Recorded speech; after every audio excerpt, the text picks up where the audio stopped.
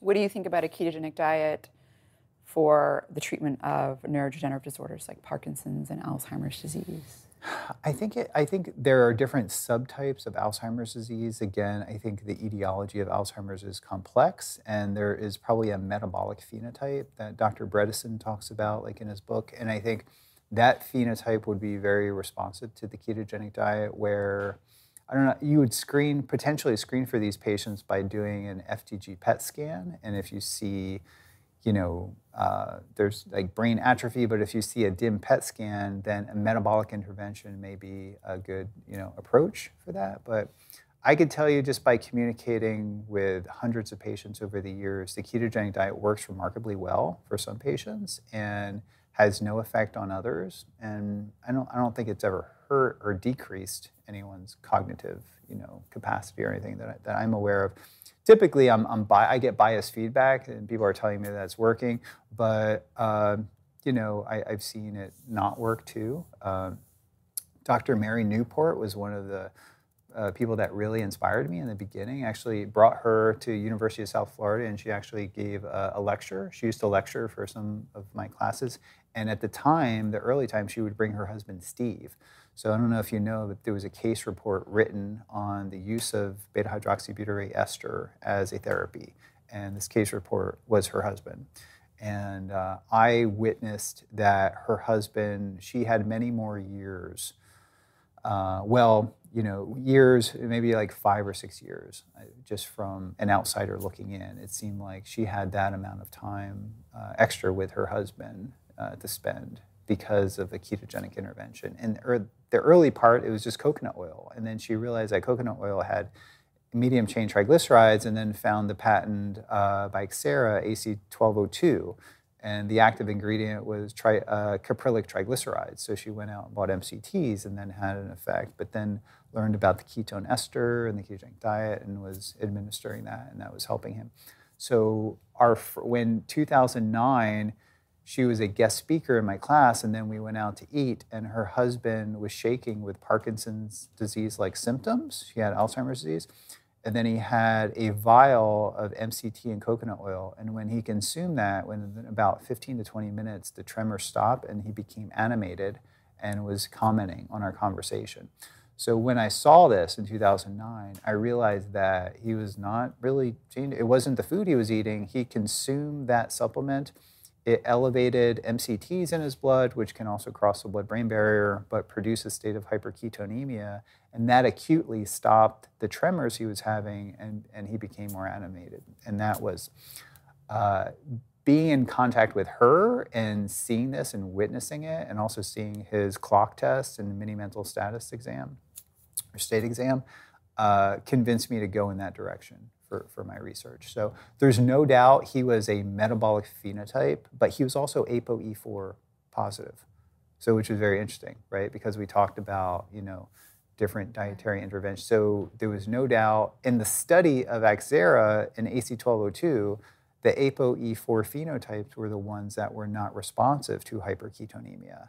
But he's ApoE4 and he was responsive, and I saw it with my own eyes. And then that motivated me. Actually, the first study that we did was an Alzheimer's mouse study at the Alzheimer's Center. And then I developed the ketone ester because the funding agency did not want to look at the diet per se, so we focused on the ester later in the seizure studies. It, it seems like, you know, with, in particular with some of these neurodegenerative disorders like Parkinson's disease, I mean, you mentioned the tremor, um, mm-hmm. that, you know, the, the standard standard care of treatment, you know, like carbidopa, it's, there's, yeah. there's a lot of terrible side effects with time. Yep. And if there was another possible either adjunct treatment or alternative mm-hmm. in some way or something, um, that it should really be explored more. And, uh, you know, like with, for example, if you could, I mean, ketogenic diets are so widely accepted now for epilepsy. Like, mm-hmm. what about some of these other brain disorders? Is there any movement in research to kind of push to uh, our understanding of whether or not ketosis is going to be beneficial for other types of brain disorders. I mean, yeah, it's so much easier to do a ketone supplement as opposed to a ketogenic diet. For a randomized, controlled clinical trial is very hard with it, with a, with a ketogenic diet, right? But with a supplement, you can have a control. You can do things. So I think those studies are happening, and we know that you know, just by virtue of the ketogenic diet altering brain metabolism, brain pharmacology, we know, I mean, I observed early on that this is going to be important for many different neurological disorders and then in cancer too. So that's why we got steered towards, you know, so I didn't want to initially, you know, study cancer, but the data was so compelling that we should at least test this. And it became a whole nother track in my research you know, that we're doing in the lab. So I, I think we are, but it's just it, it's slower to to go in that direction, and we really do need clinical trials before we can start prescribing these things to people, the ketogenic diets or the supplements. And I mean that's happening now, but there's groups of people getting together.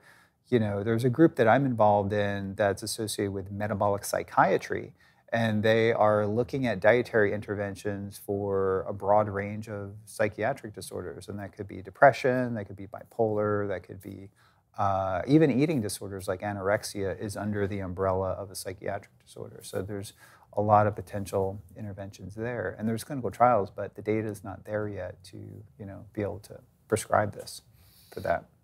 People are, I mean, people are out there experimenting with ketogenic diets they're uh, taking there's ketone supplements that you can buy on Amazon. I mean, so yep. you know there's a there's a certain element of you know there there there are families out there that are wanting to try different lifestyle changes, dietary changes. Mm. Talking to their physician about them is you know obviously recommended, but I mean they're doing it, they're trying them, yeah. and I can tell you like so my mother has. She has different types of tremors, essential tremor. She's got orthostatic tremor. She also gets migraines, and um, she did do the ketogenic diet with me somewhat. She like cheated a lot more than I did, mm-hmm. but I also have given her ketone supplements, and it's noticeable, and it's mm-hmm. the reason why she even yeah. tried the was wanting to try the ketogenic diet because she's very much addicted to refined yeah. carbohydrates. Yeah. But it, I mean, noticeably stops her essential tremor and somewhat her orthostatic, which is her legs when she stands still. But um, noticeably the essential tremor and um, the migraines she will, and this is totally anecdotal, so I'd love to hear your thoughts on it, but she, um, she will take a ketone supplement, and it's, it's she, ester has worked for her in ketone mm-hmm. salts, so she's mm-hmm. done the keto start. Mm-hmm. Um, and it totally takes away her migraine, which is yeah. phenomenal because I'm not a big fan of the migraine medicine that she yeah, wants to yeah, take. Yeah, you know, but she gets migraines that are debilitating. Like she can't. Oh yeah, good rationale for migraines. Yeah. So yeah, I get. I mean, a lot of emails uh, about that. I try because I'm a researcher. I go in the other direction and try not to oversell it as much as I can. Totally. Because yeah, I mean that that's just not very academic. So I get so much feedback and I'm so excited. I, I, want to cut and paste things and put it on social media about responses because people will even send blood work or test results or their doctor. Uh, but I'm very cautious to do that because I know the power of placebo. I know the power, but I know what I saw years ago the stopping of tremors and becoming animated was not placebo because the patient at the time didn't really know that he was what he was taking, really. I mean, he was pretty far advanced. But uh, in regards to migraines, uh, the PhD student by the name of, uh, or now Dr. Uh, Elena Gross. So we wrote a review together, which kind of highlighted many of the benefits associated with migraines. So she was a person who had crushing migraines and discovered that the ketogenic diet and then later ketone supplements could recapitulate that and actually help to manage her chronic migraines that she had. And it was likely just like the ketogenic diet for epilepsy is working th- through multimodal mechanisms. So by probably increase GABAergic tone, increase uh, brain blood flow. Some people get migraines because of like an increase in blood flow, and some people because of vasoconstriction. And we know that the ketogenic diet and exogenous ketones increase adenosine. And from our metabolomic data, adenosine, I was not really interested in it at the time, was like like many-fold higher relative. It was a thing that was really hot on our metabolomics data. I was like, oh, this is very interesting. So I recognize adenosine as a very powerful vasodilator for cardiovascular, you know, physiology. So uh, when you fast, or even when you go on a ketogenic diet, when you fast, blood flow to the brain can increase by 30%. So it's acute. You can acutely elevate it. And probably through this adenosinergic mechanism. So there's adenosine, there's probably dramatic effects on brain blood flow, on you know neurotransmitter systems, energy systems, and also neuroinflammation can trigger a seizure. Uh, I don't like to go to anecdotal evidence, but I have a lot of people will contact me that have uh, like herpes simplex or shingles or different things where the virus like attacks their body and the first sign that they get is like a crushing headache and then they get like full body inflammation and then they get like sores if it's like shingles or something like that. And they'll start fasting or they'll acutely use uh, ketone esters or, or, ketone salts actually they've been using i've been recommending it and it's like okay please give me you know give me feedback. And i've been giving them recommendations or not recommendations, I've been suggesting this as a potential way to mitigate the inflammatory cascade, and the feedback has been pretty remarkable that they can basically stop, you know, uh, an episode from, you know, like shingles or herpes simplex. And the same thing happens, they get the crushing headaches, and then usually that's a sign that the virus is starting to shed and it produces you know changes in the brain. Systemic inflammation contributes to neuroinflammation which contributes to the headache and then usually you get the cascade kind of after that. So um, it has worked through uh, a variety of different people and people get headaches for different reasons. So i think it's kind of like alzheimer's where you're going to get uh, you know a certain phenotype will be more responsive to uh, to it. And I probably should mention that there's products on Amazon that people are using ketone salts where they take it and it gives them a headache.